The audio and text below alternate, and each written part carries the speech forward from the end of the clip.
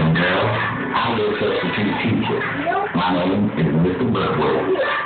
The topic of today, what you would like to do when you grow up. Over there in the jean shirt.